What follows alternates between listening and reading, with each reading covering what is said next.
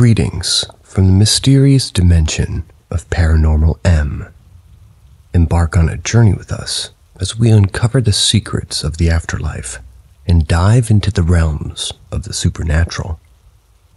Hit that subscribe button, turn on notifications to never miss out on our spine tingling and haunting stories. Girl in the Window. I'm 23 now, but I was 17 when this story took place. My grandfather was very clearly nearing the end of his days, so we wanted to be with him before he passed away. So, my family visited him in Tennessee for Thanksgiving. On the day we were leaving, I woke up feeling sick. My family lives fairly close to Los Angeles, so it took a long plane ride, and by the time we landed, I was feeling pretty awful. Being in an environment 30 degrees colder than what I'm used to didn't help either. On our first night there, we stayed at the house of my mom's old college friend. It was an old house that she had just bought and she moved into recently. She was telling my mom about how old it was and why she ended up buying it and whatnot. This was during the car ride. But I was feeling so groggy that I wasn't really absorbing any of it. When we finally got there, I could see what she meant by old. It looked like a Victorian era house and had extremely narrow hallways that those old houses tend to have. When we went inside, I felt a really oppressive energy immediately surround me. I have anxiety, and being in a new, unfamiliar place will often trigger it. So I assumed that all it was, but didn't really pay much attention to it. Instead, I decided to just go to bed, despite it only being around 8. I just felt terrible and wanted the day to be over. I slept on the couch in the living room. Initially, I had a lot of trouble getting to sleep. My head was killing me, and I felt like my entire body was being weighed down, which I attributed to being sick and exhausted. I managed to fade in and out of sleep throughout the night.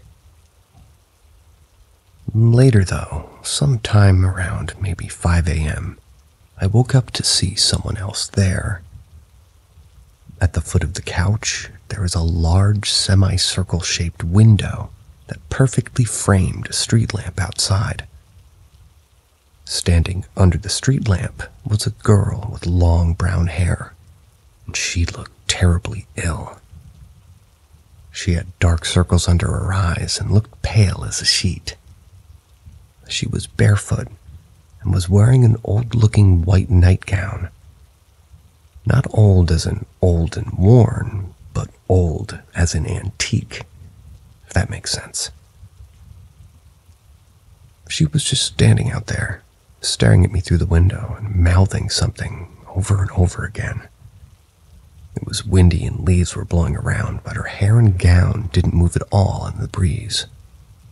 In addition to that, it must have been horrendously cold outside, but she didn't seem to be reacting at all. She just kept mouthing the words to me. Of course, I couldn't hear her, and in my sleepy, sick stupor, I said, What? I can't understand you. A voice then responded to me, although it's hard for me to describe where it came from. It felt like it was coming from the left side of my head, but kind of behind me at the same time although it didn't feel like it was coming from anyone in the room with me, but rather like it was coming from inside my brain. The voice said, She's saying gossamer. It's good for fevers. She's trying to help you. I got really scared at this, and I asked, well, Why? She doesn't know me. Why is she out there? Why does she want to help me? Then suddenly, as if in a blink of an eye, I could feel the dark figure of the girl who was outside just a second ago standing next to the couch, leering over me. The light in the room was coming from behind her, so she looked like a dark shadow person. Leaning over me, she whispered, It's okay. You're going to be all right. I immediately woke up at that, felt absolutely terrible.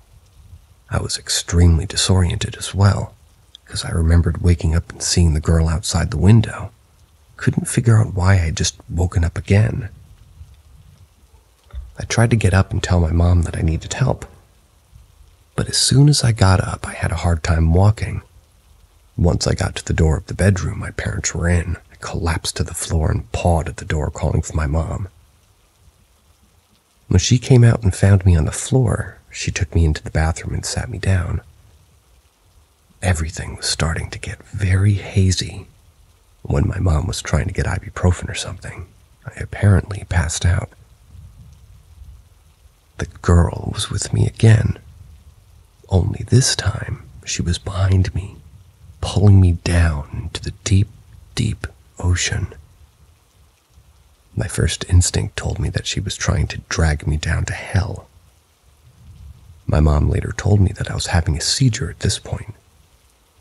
When I came to from it, I remember telling my mom that I felt really, really bad. She tried to help me get up and back to the couch, but on the way over, I blacked out again and had another seizure on the floor. I vaguely remember hearing my mom yelling to my dad for help, but it's hard to piece it together. I had never had a seizure before in my life, so it's not like this was a common thing for me either. The entire time, I felt like the girl from earlier was trying really hard to take me with her, like she wanted me to succumb to illness. When I finally got back to the couch with the help of my dad, my fever immediately broke. I started sweating like crazy, and suddenly I felt loose and relaxed, as if I was at ease after the whole ordeal. I no longer felt like the girl was there with me, and honestly, I was so exhausted that I wasn't even thinking about it.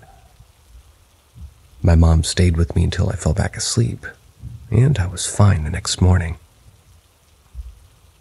I was still a bit sick the rest of the time, but nothing compared to that first night. Logic tells me that it was probably a fever dream.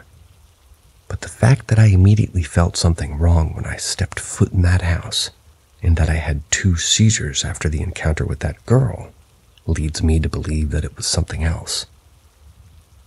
I'm not sure that it was a ghost, because to be honest, it felt more like she was an angel that could tell I was sick and was trying to tell me to, well, rather take me to hell with her. I don't think she was trying to help me like the voice in my head claimed she was. I think she was trying to kill me. I've never felt closer to death in my life. I've never told my parents about this experience for fear of ridicule, and I figure that I'll never be back to that house anyway especially since my mom's friend has since relocated once again, so there isn't much of a point. I just hope that I never encounter whatever that girl was again.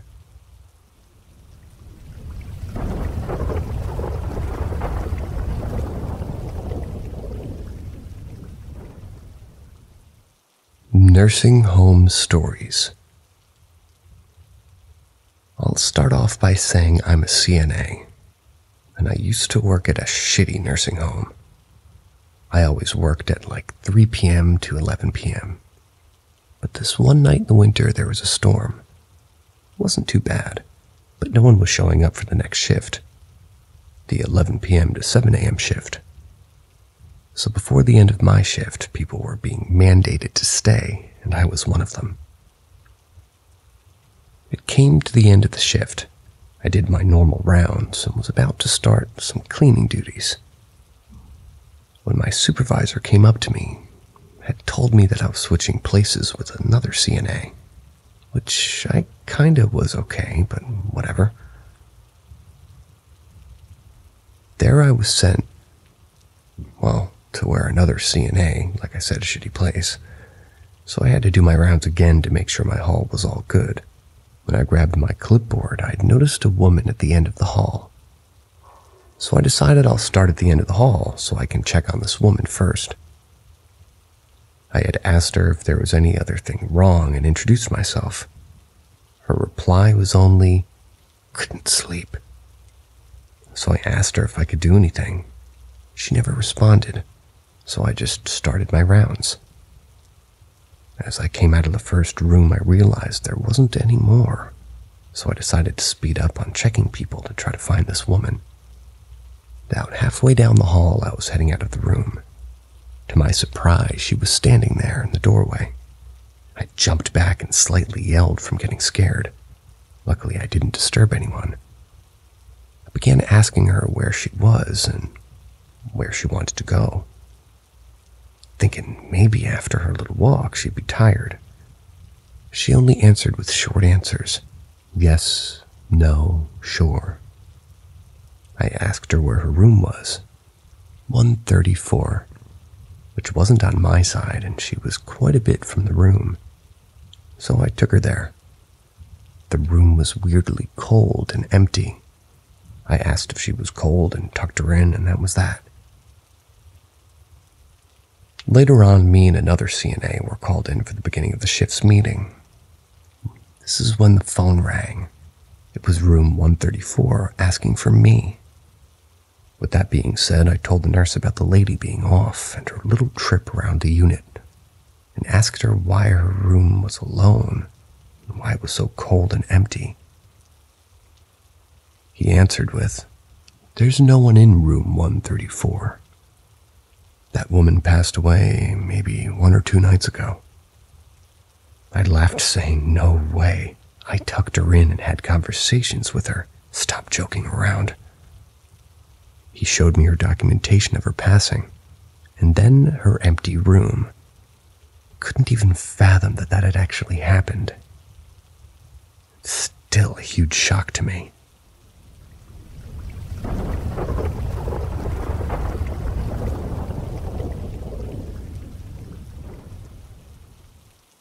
Nursing Home Stories, Part 2. So, again, this nursing home wasn't very good. It wasn't legal with a lot of things. But the time I became a CNA, I was 18, but I've been working there for a year already. So I was pretty young, and a lot of people who would just tell me, you know, this probably isn't good for you, which little was like, what can I do about it? But anyway, I worked with a woman who didn't like me which was, I guess, because I was so new, I was used to everything by the books, and I'd say things like, We can't do that, or We have to do it step by step. And because she was so close with our charge nurse, he wasn't fond of me. This one day I had said something, and the nurse didn't want to deal with it. They had sent me over to a unit that was short staffed I helped out over there, and after our shift change meeting, the nurse on the unit was like, Oh my God, you're here today. And I explained why. She then replied with, I'd love to keep you here, but your unit is actually the short one. I'd get in trouble for keeping you. So I went back, answered call lights, and then it was dinner. My charge nurse sent me in a room to feed a bed-bound resident. But during the meeting I wasn't there for, so his diet was changed and wasn't updated on our dietary sheets. Now, to keep in mind, this resident has been in the hospital and isn't from my part of the unit. And because I was so new, I didn't really know wrong from right. So I fed him a few bites and was paged into another room for help. I came back and the guy was choking. Within the week, he died because of aspiration. I was so upset and blamed it on myself. Every time I went into that room, it was always kind of feeling like I was being watched. Big mirror in the room that you could see in the hallway from. I always would see someone walk in, but no one was ever there, and it happened a lot. Then I had this reoccurring dream of this little boy who I've never seen before. I would ask, How's my brother? and would always tell me that I forgive you. Then one day I found a picture of this boy, the one in my dreams. And, well, it was the man who I blamed myself for his passing. I then looked for his brother, who was on a different one, and made it a thing of just normally checking up on him. A month later, the man came to me in my dreams and told me he's happy now and thanked me for caring for his brother.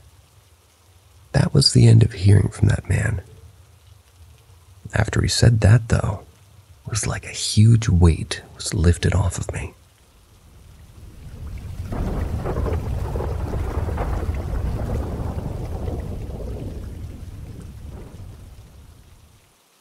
A ghost said my name in an old barn. I, a 24 year old female, was about 15 at the time of this, and my friend, also 25 year old female, but 16 at the time, we used to go to this horse barn after school. She would go every day to muck the stalls to work off the board for her horse to stay there. It wasn't a huge barn, Sorry for all the details, but it pertains to the story. It had probably 16 stalls, but maybe 12 horses actually boarded there. The building was like a straight line with the front entrance pointing toward the road and the other end pointed toward the paddocks. It was easy to know if somebody pulled in because the entrance was literally right next to the road and car headlights would shine through the whole barn. Anyways, me and my friend, I'll call her Mandy, we were sitting in the tack room with the door open waiting for my dad to pick us up. This was in the winter of New Hampshire, and it gets dark by like 3:34 during that time, so it was pretty dark out, besides some lights in the barn. We're just sitting there talking when suddenly I hear someone yell my name. Hannah. Like a question. I didn't say anything about it for about 10 seconds, then Mandy says, did somebody just call your name? I knew I wasn't crazy then. I said yes, and we both peeked out of the tack door. The voices sounded exactly like my dad. There were no headlights in the drive, and we were the only ones there. I called my dad, and he was still 20 minutes out. I want to add earlier in the day that we were bringing a horse in from the paddocks, and this horse is maybe 25 years old and bomb proof as hell. He refused to go inside to the point that he actually knocked Mandy over and ran back out. It took 10 minutes to get him back in. We both have wondered for years what this meant. It's my only and only one, really, encounter with the paranormal. And honestly, now that it's been almost 10 years,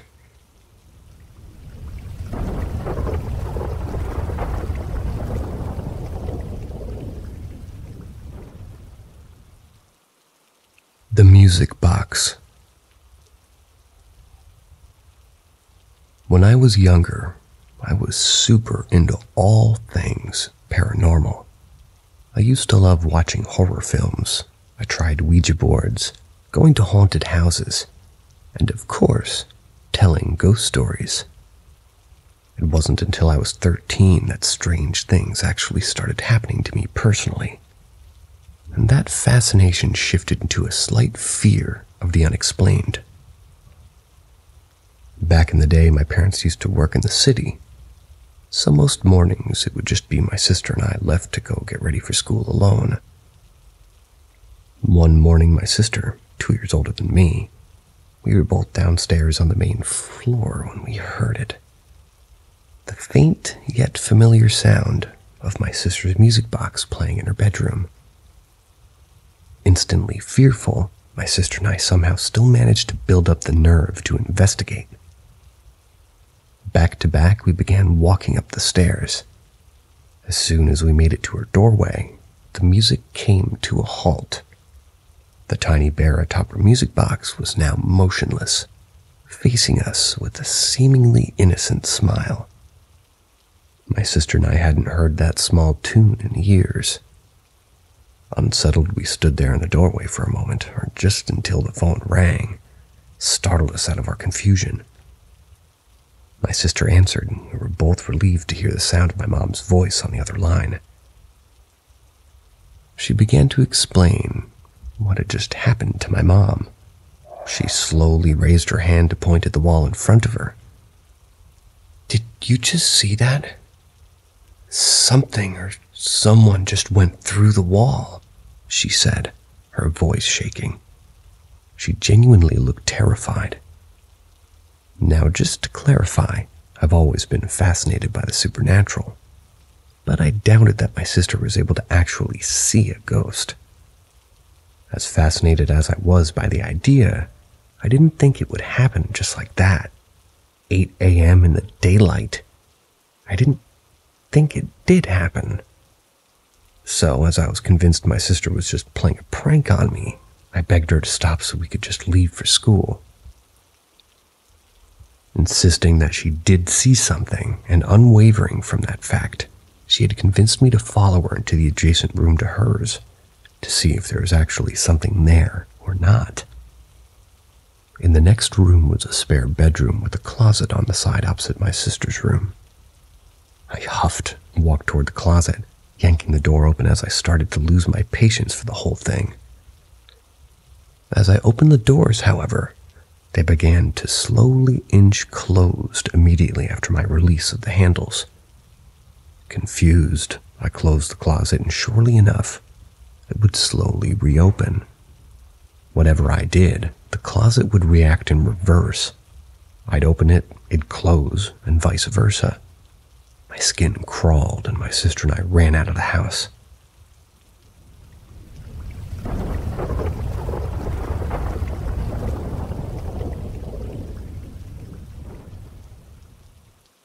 Not alone. This particular instance was several years ago, back when I used to have a math tutor in high school. Once a week, every Friday after school, I'd have a tutoring session at the library by my house. It started at 3:30 and class would let out around 3, so I was often early.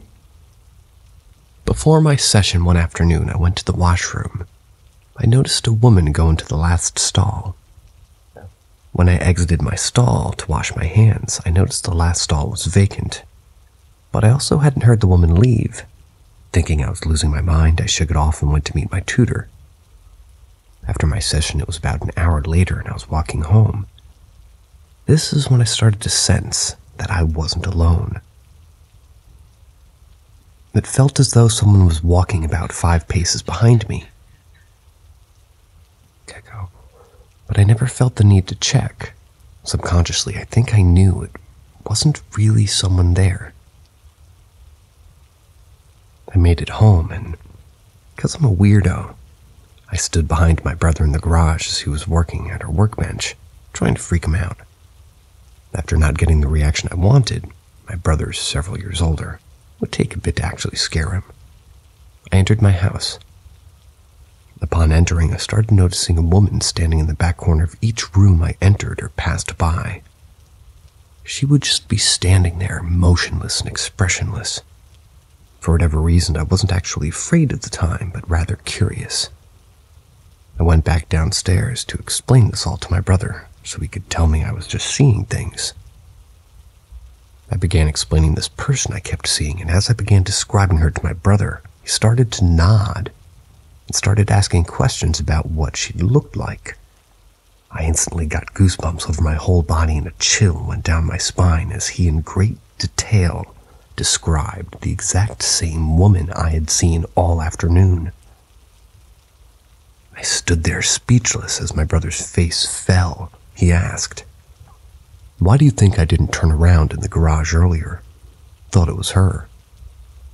Not that I've ever mentioned it to my brother since, but I'm almost certain neither of us have even saw her ever again.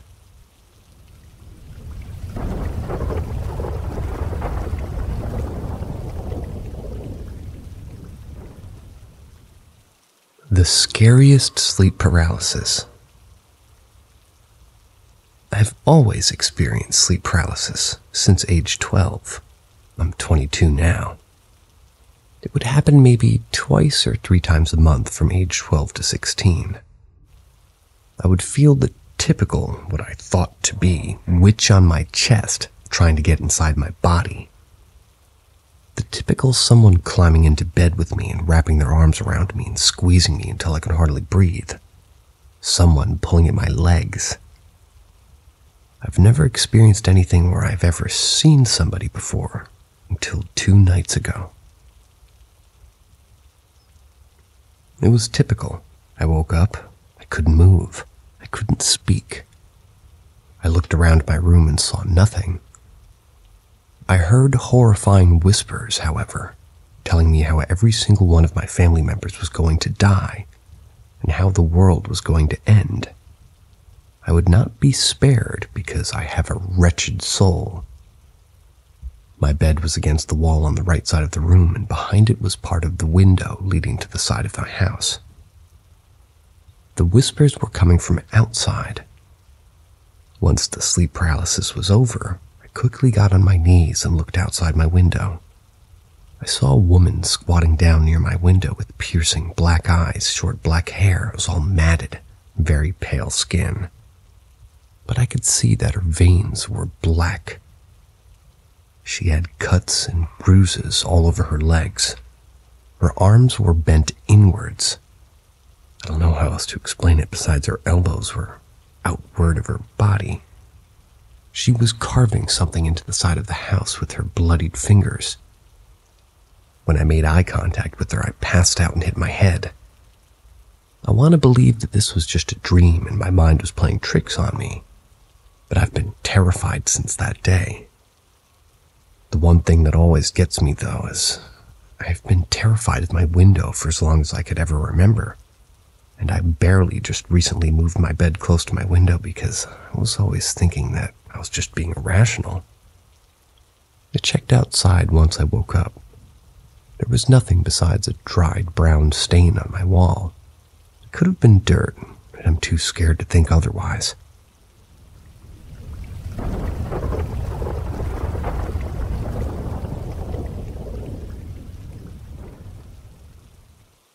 I could see it through the mirror. The year was 2011, and it was my 21st birthday. I don't remember much from earlier in the day. All I can remember is my boyfriend at the time and myself went to my parents' house to see them, spend time with them for my birthday. During my visit with my parents, I noticed that my mother seemed really off. The facial expression she carried seemed far away, like her mind was elsewhere, but her body was there. I do need to point out that my mother and I were extremely close. She was literally my rock, the most important person to me in my life. I remember being there for a few hours, and we had cake and ice cream and took a few pictures. I didn't know it then, but eventually I'd come to the realization that that would be the last picture I would ever get to take with her. I remember getting ready to leave and kissing her and hugging her goodbye. The last words she ever spoke to me was, I love you. I'll see you tomorrow. But sadly, before tomorrow came, she passed away in the middle of the night due to a brain aneurysm. I would later discover a year or so later that she was aware that she was terminally ill fought her battle in mostly silence and alone, only choosing to tell her mother, who was also passed in recent years since. Fast forward about three months after she passed. Up until this point, I've had a few bizarre and otherworldly experiences, but this one takes the cake.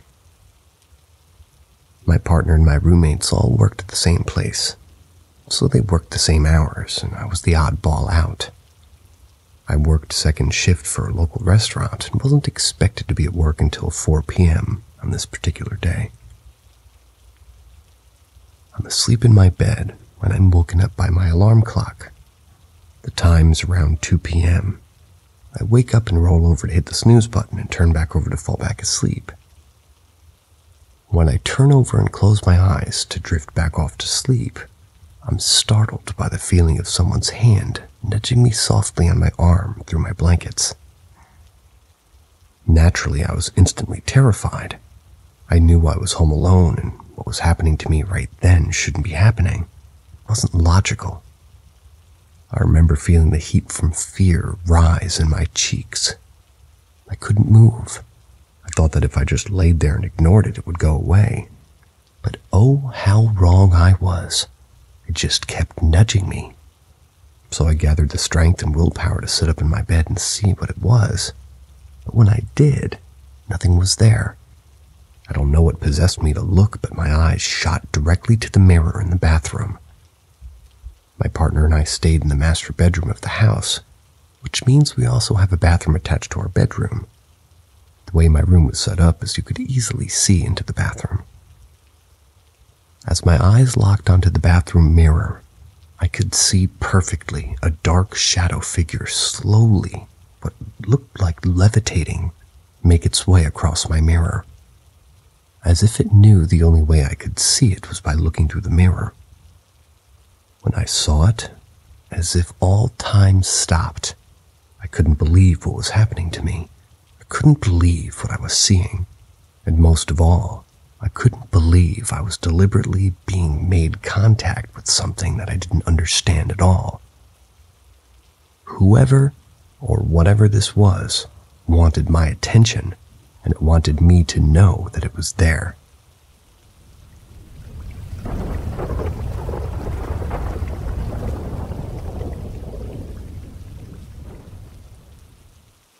Something curious is happening at 66 and 2nd in Manhattan.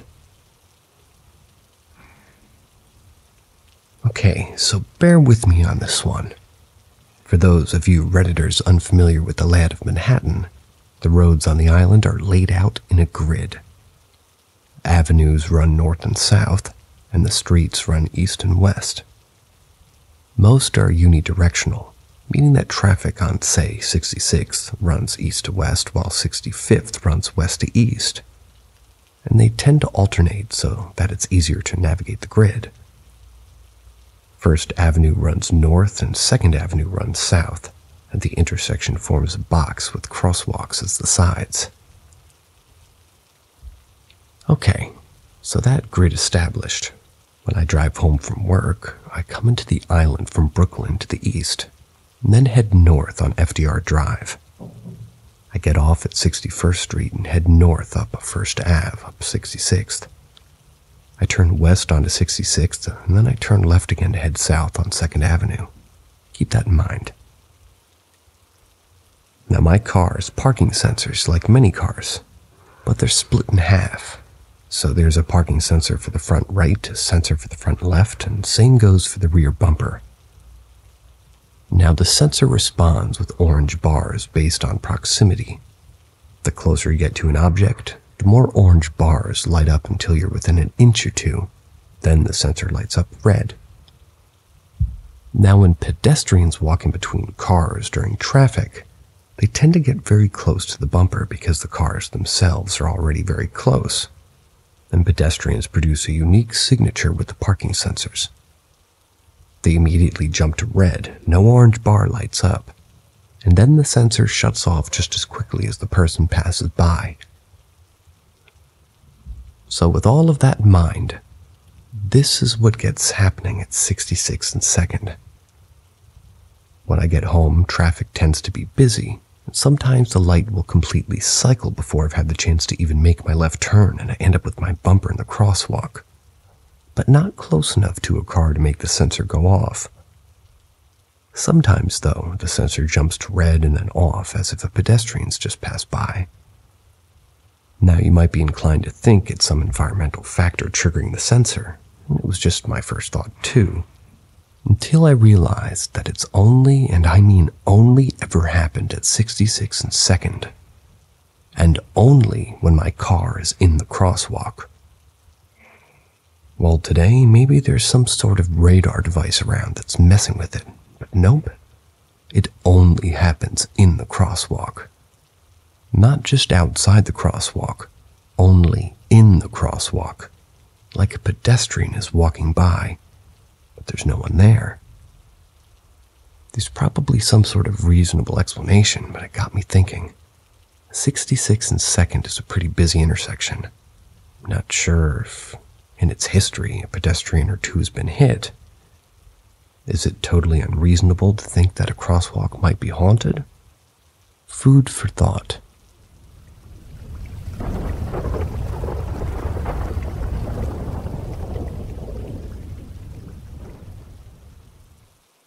My one and only experience. This story happened a year and a half ago. I've only ever shared this story with one other person, the other person who's actually in this story. First, a little about me. I have a formal education in the hard sciences, and I'm halfway through a doctorate of medicine degree program. So, those are the lenses through which I see the world. This makes me a natural skeptic on most things. I firmly believe in the existence of extraterrestrial life because of the vastness of the universe makes it a mathematical certainty, but I'm far less convinced on the subject of UFOs. Although, there are a number of well documented events that keep me from dismissing them outright. By the way, this story has nothing to do with aliens, though at least I don't think it does. I guess I only mention it for the purposes of demonstrating that I keep an open mind on things, but that I still need to see at least some sort of suggestive evidence. I'm a huge fan of the paranormal as a genre, though. I find the stories and media fun and entertaining. I like being scared, and I enjoy the experience of reflecting on what if. But it's always been just that to me a genre of entertainment. Then this happened, and I still can't explain it. My fiance and I grew up and live in a small city in New England. Honestly, it's really only a city by definition. It's bigger than your average New England town, but it's far more suburban than your average city. The house that my family has lived in since I was two is located on the outskirts of this quote unquote city. I'm now almost 30, and although my fiance and I live in an apartment below her mom's place, I still keep a lot of my stuff there at my old house, including my motorcycle. When you pull out of the driveway and go one way, it takes about 10 to 15 minutes to get into the city proper. But if you go the other way, it takes about 2 minutes to hit farmland. Heading towards the farms, you end up on a road called Pine Hill Road. On this road is a very old cemetery with gravestones that date as far back as the 1700s. The cemetery encompasses a square plot of land bordered on three sides and by Pine Hill Road on the fourth. The official name of the cemetery is Pine Hill Cemetery, but everybody in that area calls it by its other name, Blood Cemetery. It is allegedly one of the most haunted cemeteries in New England. The name derives from the blood family, er, excuse me, the name derives from the blood family burial plot located more or less in the center of the grounds, and it's where most of the alleged activity arises from. Tangibly, the blood headstone is engraved with the image of a hand, and it is said that during the day this hand points towards the heavens, while at night it points down toward the ground. It's also said that the ghost of Abel Blood roams the grounds. It's illegal to enter a cemetery at night here, and the police do patrol this area because of how frequently people try to get in at night to see for themselves. I personally have never actually been inside the grounds, day or night, not even during the experience that I'm about to describe. By the way, I've used the real name of the place. Feel free to Google the cemetery all you want. That way you'll know I'm talking about a real place with real stories attached to it. And this really happened to me. I've driven past this cemetery a million times before, day and night, and not once have I ever seen or experienced anything out of the ordinary. That is, not until one night last fall. It must have been around late August or early September 2017. Summer was on its way out, and fall was just starting to let everyone know it was on its way. It was late and pretty dark one night when my fiance and I were out for a ride on my motorcycle. We love riding around this area because there's little traffic. The roads are just windy enough to make it fun, and the farms are beautiful. We were riding up Pine Hill Road and we were just beginning to pass blood on the left, as we've done so many times before. Going about 30 miles per hour must only take three to five seconds to pass the whole property. But this time, something very strange happened to me. Time appeared to slow down when something red reflected was across the visor of my helmet. I turned my head to the left, and this is what I saw. Up in a tree, just along the left border of the cemetery, there was a floating orb of the brightest red light I'd ever seen. So bright it was that its center was white. Orb isn't really the right way to describe it. Though, because it wasn't just a sphere of red light, it looked like it was oozing and dripping like it was made of plasma. The best way I can think to describe it is that it looked like a tip of a signal flare when it's held off the ground. It was like that bright and it was oozing like the tip of a flare, but it was not shooting out from anywhere like a flare does. Where a flare has a sort of elongated shape from the spark shooting out at the end, this was circular. And unlike a flare, there was no visible physical object from which it was dripping and burning orb was emanating from. It just was. It was bright, and it was oozing, and it was dripping, and it was floating up in a tree. I really can't underscore enough just how bright this thing was to me. Then I noticed the rest. Moving around this red orb was a set of hands. I didn't notice them at first because of how bright the orb was and how dark the world was, but as my eyes began to focus somewhat, I realized that there was something else in the tree with the orb, and it looked like it was actually conjuring the orb. The thing was humanoid looking, but it didn't look human at all. It looked like a scrawny and lanky E.T., you know, E.T. phone home sort of thing, with nubby joints, fingers, and features but with scrawny limbs. Its face was long, narrow at the top and bottom, but wide in the middle. It was bumpy. It was a face unlike any human face I'd ever seen before, and I've seen a lot of deformed faces. Laprodamus faces, hypoplastic faces, coarse faces, faces without calvaria. Hell, I've even seen real cyclopses. Yep, cyclopses really do exist. It's actually quite a sad thing because cyclopia results from a condition that also prevents the brain from dividing, and the baby is usually stillborn. This thing's face looked like it was from hell. Its skin looked dark brown, and it appeared to be wearing some sort of baggy looking cloak. Its legs were crossed, its hands circling around this extremely bright, oozing red orb and it was hovering a few inches over a branch in this tree.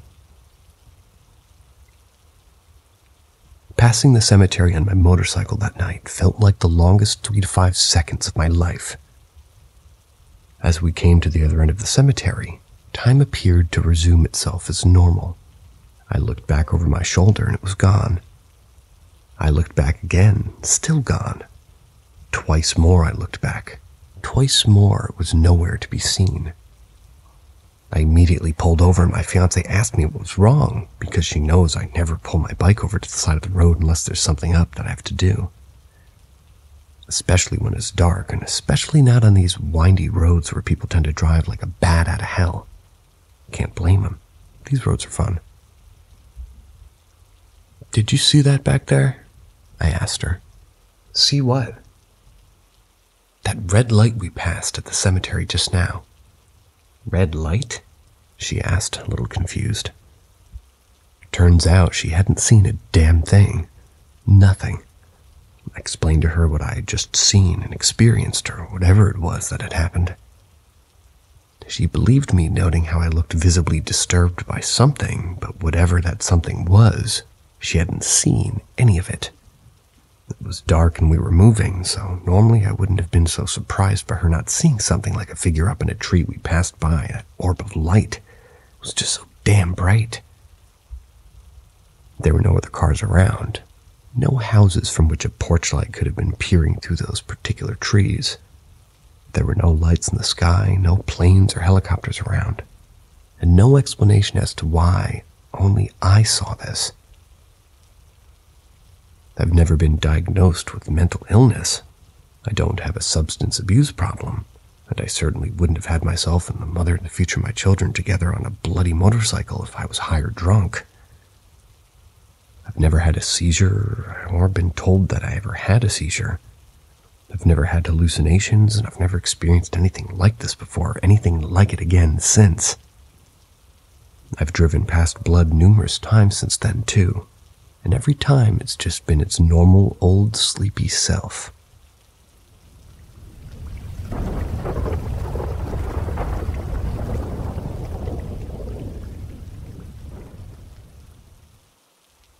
Hoping this goes here. I used to work as a transporter. When I say transporter, I mean a transporter of the recently deceased. How this job would work is we would receive a text of a location and the name of the deceased. We would then go and pick up the freshly passed from their house, or the accident site, or the old folks' home, etc. When we arrived at the location of the deceased, we would have to pack them up. That means handling them. Keep in mind that the bodies make noises and grunts and groans. They're still warm and stiff. We would then have to bag them and move them onto a stretcher, then strap them down. Once they've been placed in the van, your partner would leave and you would drive the deceased to the funeral home. Here's the catch even if my partner was not in the van with me, I never felt alone. Once my door was shut, I would start getting a sharp itch and pressure just behind my ear. Never failed. Body after body, this feeling was always there. When asked how it feels to see the deceased, I would always reply with the same answer. It's never bothered me. To me, the soul's left, and it was just an empty vessel. I guess, though, the soul may have left the vessel, but they seem to still be hanging around for a while. Upon arrival at the funeral home, the deceased would often offload and be brought into their prep room. If one spirit was noticeable, walking to the prep room was very noticeable. I remember one funeral home had a camera system that I hope just had a malfunction. One of the cameras would static and flash, then turn black, only to cut out just when you looked at it. This other one, you would have to walk through the whole building just to turn the lights on, the prep room being behind you all the way. This building always had a habit of having the doors behind you open after you went through them. Doing this job was, well, interesting. I'm not sure how to really express how overbearing the atmosphere was in one of the funeral homes. We're at about 0200. But if you want a creepy time, go hang out in the prep room during the witching hour. I no longer work being a transporter. I swapped out to work as an on call pallbearer. Seems I cannot escape the dead. The first story was about me working as a transporter a few years ago then moving on to call pallbearer. Someone had asked if I had ever had any other experiences, so I thought I might post a few and see how they're received. If you would all like to know more, let me know. So I've always had bizarre experiences and dreams since I was a kid. And even now, though fortunately they've calmed down, Due to how long it's been for some of these, time will have marred my memory. I'll try to keep this as accurate as possible and sort my stories by houses. Side note my parents separated when I was around two or something, so the stories for when I was visiting my mom would be separated per house as well. I've lived in lots of different places in my city, and until recently I've had something happen in each of my houses and apartments from apparitions to just terrible sleep paralysis. So let's start with my first house. I grew up in a small home with my dad and brother. Things were not easy. and day to day always presented a new challenge from not being able to afford food to a rather, let's say, troubled childhood. Anyway, I only remember a few experiences from that first house. One of the biggest ones that stuck with me was during an early morning breakfast. My brother and I were sitting at the table. The table was situated close to the door that ran to the basement. I remember hearing our cat running up the stairs, and when I looked over, I saw our fuzzy friend beelining around the corner like a bat out of hell. It was odd for that cat to act like that. He was old and was not that active anymore. Looking up from where the cat turned the corner, I saw a humanoid figure with horns and a hound by his side. Chalked it up to my child brain to put whatever it was into that form. But this entity was just there now watching my brother and I eating breakfast. We just stared at each other for what seemed like forever until I was finally able to look away scared and get my brother's attention. When we looked back, it was gone. I never felt safe in the basement. There was always something off about it. But what kid likes the basement? Pretty sure that's just normal. Following that event, I remember two more odd things that happened in that house. They're the same event that happened at different times. I remember waking up at night. As a kid, I was unsure what the exact time was. Laying in bed, I opened my eyes to white mist or fog. It wasn't wet, it was just there. You could see through it fine as well as you could see everything in the house almost as if you had your lights on. I opened my door and left my room to look down the hall, and it was the same a white mist that allowed you to see it as if it was day. I would write it off as nothing, but it would happen again to me in the same house.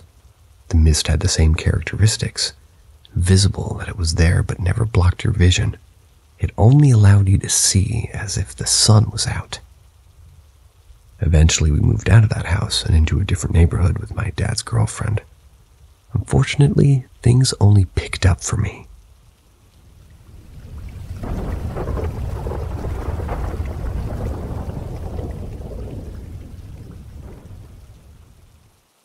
Terrifying childhood experience. When I was about eight, I was sleeping in my room. It was about 3 a.m. when I slowly woke up to a voice saying calmly, but with a sense of urgency, Wake up! Get out of here! Get out! You're not safe! Get out! I couldn't even point if it was a male or female whisper. It was so neutral. I got up from my bed, nothing in my room. Got out of the bedroom, turned the hallway light on, and again, nothing. Then this huge sense of urgency fell upon me out of nowhere. I ran to my parents' room. I entered as quietly as I could so I wouldn't wake them up. They didn't. So I closed the door behind me and went around their bed, in a way that their bed was positioned between me and the door. Then the same voice that woke me up kept saying, You're still not safe. Stay here, don't move, stay here, it's not safe. I stood there, crouching behind my parents' bed for a few minutes. Then I looked over the bed toward the door.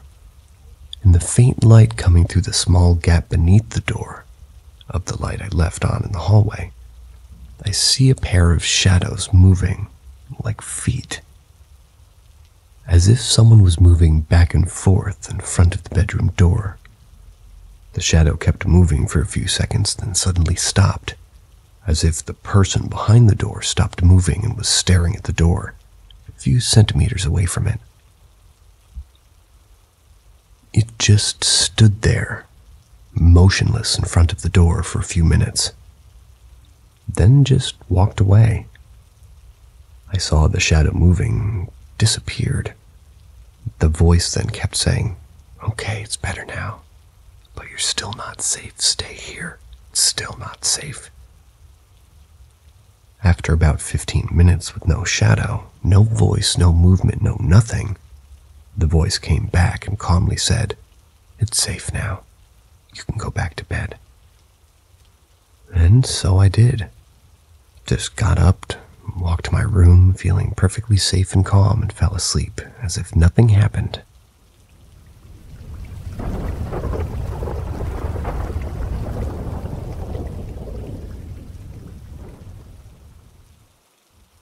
It said my name. I had just come back from working the night shift at a long term care facility for the elderly. I lived alone in my apartment on the second floor. My door was bolt locked. It was 6:30 a.m. and I finally laid down to sleep. I had my bedroom window open and I could hear the cars driving on the highway. All of a sudden I hear my name being whispered. Kind of figured it was a mixture of exhaustion and me warping the car sounds. I continued trying to sleep when I heard my name in a very clear, loud whisper and I froze. Then I heard the breathing.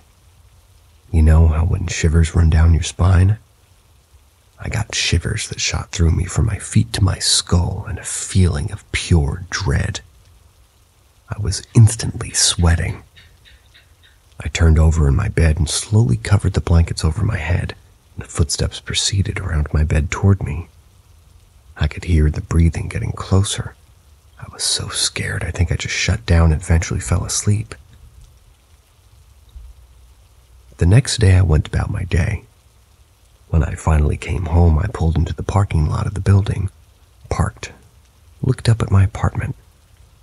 I got that dread feeling in my stomach. I had completely forgotten what happened that whole day until when I got home. I thought it must have been so traumatizing that my brain shut it out. But here I was, remembering. I Went over to my neighbor's to tell her what had happened. I went home later after I felt brave enough and tried talking to it. I said, I don't want any problems. I just want peace. I realized whatever this thing was, it had to have been around for a while to learn my name. I never saw or heard anything in that apartment again, though. It sounds insane, I know. This isn't the first time I've witnessed breathing and footsteps. The other time I actually saw a figure and it scares the shit out of me thinking about what I've experienced. I just haven't written them all out on here yet.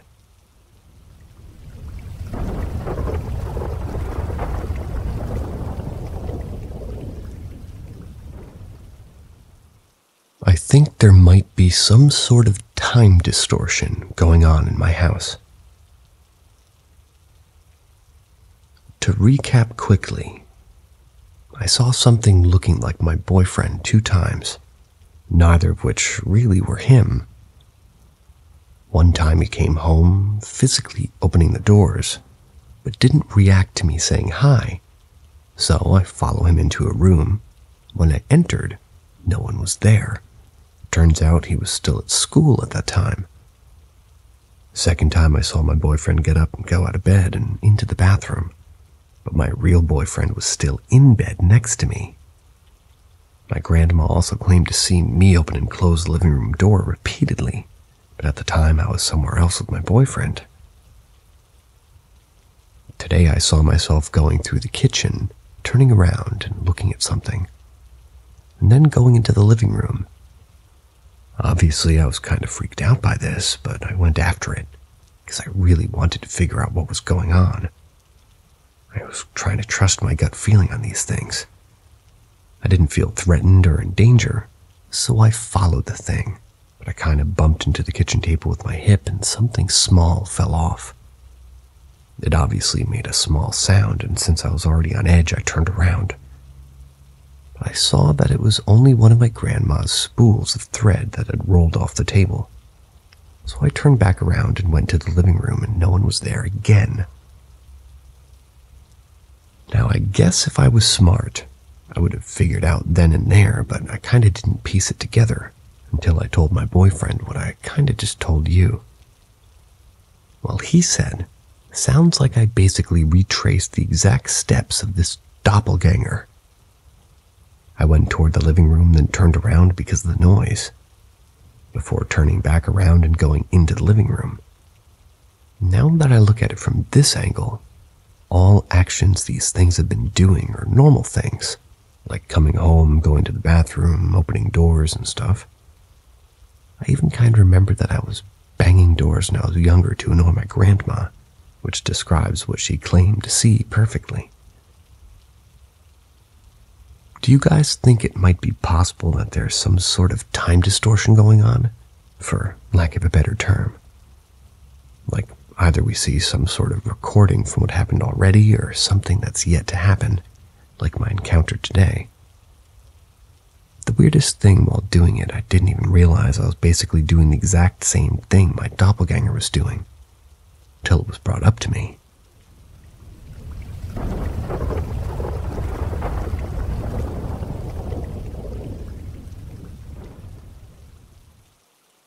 Something in my home started to imitate my family. I'm 22 years old and female.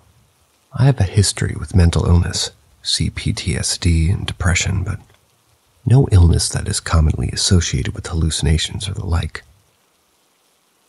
I lived together with my boyfriend and my grandparents, my childhood home, and ever since I was little, some weird things would happen. Most commonly, we would see someone or something inside the house, even though all of us were in the garden. But I rarely, if ever, encountered anything face to face. When I was 16, my mother passed away, and I inherited a jewelry box. I believe something pretty bad was attached to it, and I had a very horrible experience back then. I put the jewelry box away since and haven't seen that thing again ever since. To retell that story here would be way too long, so I just quickly mentioned it. I only mention all of this so everybody has a good idea of my personal background. Maybe that helps in figuring out what's going on now, though. The situation at hand is that something seems to be impersonating family members. It started a few weeks ago when I was home earlier than everybody else, and I was waiting for my boyfriend to come home too. I was on my PC when I heard the door handle being pushed down. It's a bit squeaky. The door was opened, and I heard heavy footsteps behind me going into the bedroom. It sounded perfectly identical to my boyfriend's footsteps. I called out to say hi, and at first didn't think anything of it because he often rushes past me into the bedroom because he needs a little bit for himself when coming home. I didn't get any reply. That was kind of weird to me. So I went into the bedroom. There was no one there. I suddenly got this really bad gut feeling and quickly left the bedroom and locked the door. I also closed the other door that had been opened. Later on, I told my boyfriend about it. He thought it was creepy too. The next day, my grandma called me upstairs because she was angry that I was up late last night and slamming doors upstairs. I asked her when I supposedly did that, and during the time frame that she said that she saw me slamming doors, I was with my boyfriend. But Grandma was adamant that she saw me clear as day. Now, yesterday night, I woke up in the middle of the night and saw my boyfriend get up and walk to the bathroom, open the door, and go inside but he didn't turn on the lights. That's weird because he doesn't really like the dark. Then I heard him shuffling in bed right next to me. I panicked and turned on the lights, which woke him, and he was pissed. He asked why the bathroom door was open and why it woke him up. I told him what happened. He went into the bathroom to check out if there was an intruder, but there was no one there. I'm really scared and don't know what to do. We still live under my grandparents' roof, and they won't allow for us to call a priest or anything of the sorts. I'm by no means a paranormal expert, but I get really, really bad feelings from those imposter things. And I like to be, well, and I like to be, you know, and I like to be live. Oh, I believe they mean, and I'd like to believe that my gut feeling is usually very accurate. Does anybody have any ideas what to do or what this is?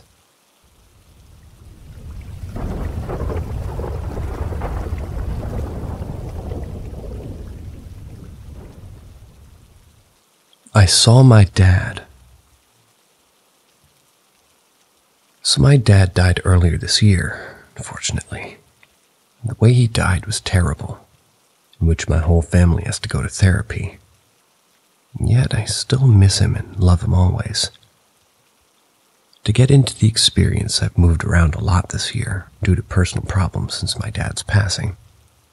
I also got two puppies this year from the same litter. Lost my dad and dog on the same day.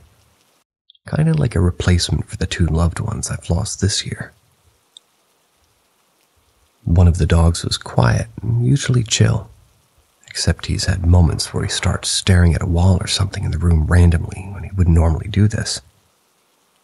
I know dogs have a sixth sense about paranormal stuff as well as other cats and other animals. This behavior would happen about each month around two to three times since I got him in May. Then I moved again to my grandfather's house, in which he is my dad's older brother. There still some tense feelings here and there because it's still a very sensitive topic my grandparents and dad's side of the family to talk about my dad or even see videos of him. They were all close. Around the same time I started my new job, where it would require me waking up at 2, 3, or 4 in the morning to leave for work. In front of my room, there's like a tiny light that usually is on, sometimes when people forget to turn it off, though. There's nothing in the way of that light that could ever cause a shadow. One day I was leaving for work about a week ago, I go get my shoes and I'm about to leave the front door when I look up in front of the light as a big shadow of a person. I immediately recognized who it was. It was my dad. The only reason I know it's him is because of his shoulders and height. I look and I saw his big shoulders and head. I blinked, then it went away. I closed the door to the house and went in my car. Till about 10 minutes later, it hit me again that I just saw my dad think I cried about it after work, but I couldn't tell anybody in fear of them thinking I was crazy.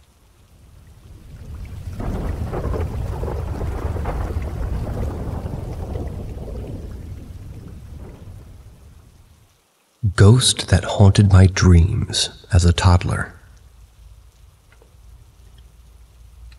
When I was little, I used to really have bad nightmares. They were so bad that I'd wake up in the middle of the night screaming like I was being murdered. At one point, it got so bad that my parents actually called 911 because they weren't even sure if I was breathing or not. What were these nightmares about? Being so young, it's pretty hard to remember, but I can recall two of these nightmares. In the first one, I was at my grandparents' house, playing with a toy on the floor, when my grandma was doing something in the kitchen. Then their dog barked from the other side of the house. I heard my grandma yell, Hey, at the dog. As soon as that happened, everything went quiet. I looked up from the toy to see a tall, shadowy figure where my grandma was moments before. It just stood there staring at me. It didn't have any distinguishable features. Was like I was staring at the shadow of a tall, skinny person. The second one's a lot shorter, but it's kind of the only one I remember the most. I was in my crib at night when I heard something from the doorway. I looked over to see the exact same shadowy figure staring directly at me from the doorway. I don't remember any of the other night terrors I had when I was a kid, but I'm sure they all involved this thing. It got to the point where I was terrified of shadows and loud noises. I understand why I was afraid of shadows, but for the life of me, I can't explain where the fear of loud noises came from. Maybe it had something to do with the fact that my grandma shouted at her dog right before the shadow person showed up. Maybe it had nothing to do with those nightmares at all. I really don't know. Normally, I wouldn't be concerned by this. For all I know, I saw something like this on TV when I was little and had nightmares about it.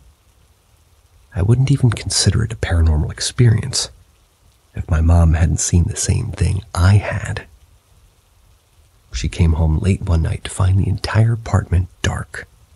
Assuming my dad had just left for work, she walked toward her bedroom, which was at the end of the hallway and across from mine. That's when she saw the tall, shadowy figure at the top end of the hall, in front of my bedroom. At first, she assumed it was my dad, So she got mad at it and just started scaring the heck out of her. Excuse me. So she got mad at it for scaring the heck out of her. But the figure didn't move. She reached behind her to turn on the light, and the figure vanished. She told me about this years later, and my dad backs up the claim, since he recalls getting panicked phone calls from my mom saying there was a ghost in the apartment. And that's where it ends. A few years later, we moved out of the apartment, but never experienced anything to do with that shadow ever again. Ever since then, I always sleep with the hallway light on because I'll never forget the feeling of absolute terror I had when I saw that shadowy figure staring at me from the doorway.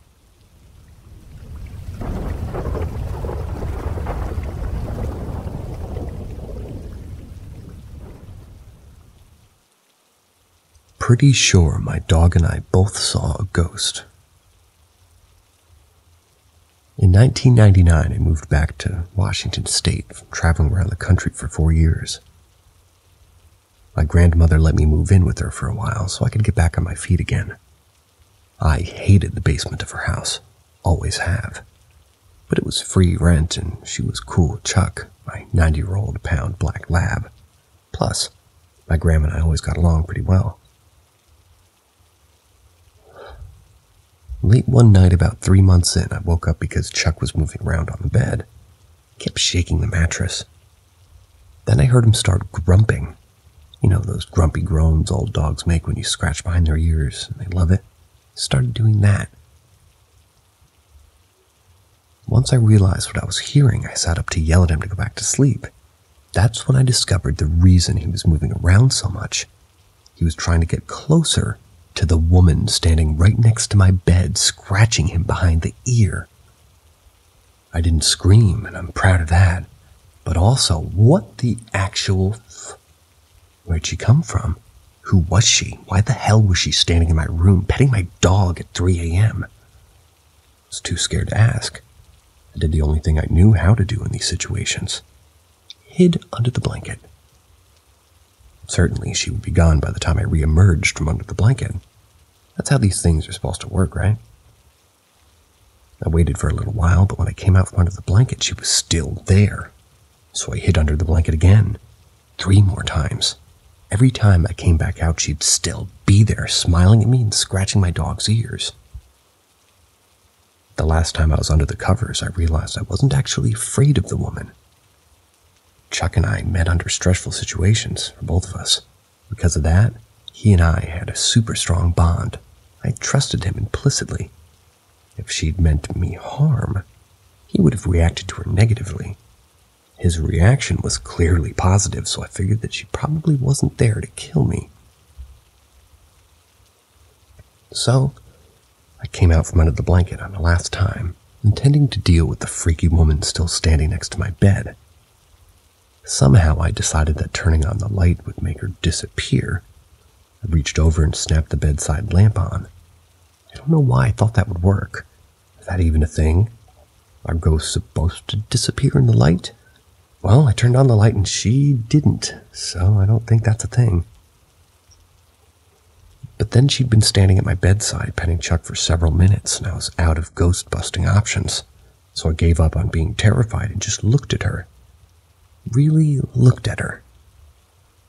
I can still see her right now in my mind, dressed up in a classy brown pantsuit with a cream colored blouse. She had shoulder length auburn hair styled beautifully with these long, big, curly loops.